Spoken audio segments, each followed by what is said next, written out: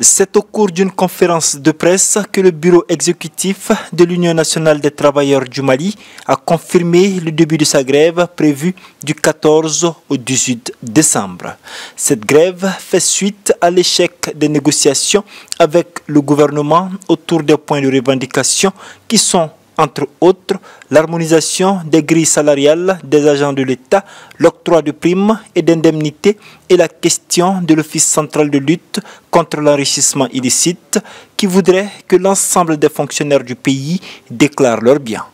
Cette grève qui va paralyser l'ensemble du secteur public car initiée par le plus grand syndicat fait suite à une autre de 72 heures qui avait eu lieu à la mi-novembre.